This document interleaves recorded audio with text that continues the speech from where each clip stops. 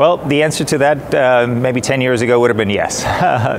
but uh, we are seeing a lot more options for patients. Uh, the reality is that many patients with muscle invasive bladder cancer actually don't end up getting any treatment because we think they're either we or, or the referring physicians within the community think they're too frail for a cystectomy and end up not really getting any therapeutic or, or, or curative type treatment. So there is a large population of uh, patients out there that we're not even seeing to assess for surgery. So the answer is no, not everybody needs a cystectomy. Um, in fact, you know, most patients perhaps may not make it to cystectomy either because, uh, you know, there are alternatives that are more palatable for them or they're just really not a candidate for this uh, uh, surgery. So there are a number of uh, things that we're seeing. So one is chemoradiation is, has always been around, uh, this idea of trimodality therapy, or TMT, where we do a, a good resection, then the patients are treated uh, with chemotherapy and radiation therapy, highly effective treatment. So that's sort of um,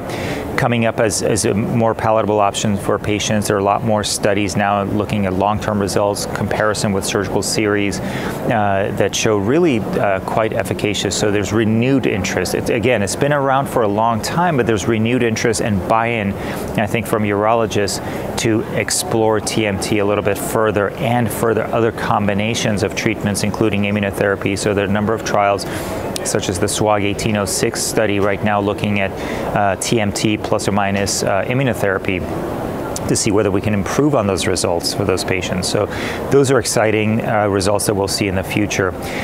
There are other bladder preserving options uh, as well, uh, where we're seeing a novel uh, intravesical delivery options of medications along with PD-1 or PD-L1 inhibitors in combination therapy to, to try to a control the disease or potentially even uh, uh, have a long recurrence-free survival or, or, or long, long disease-free survival for these patients who traditionally would have gone to cystectomy.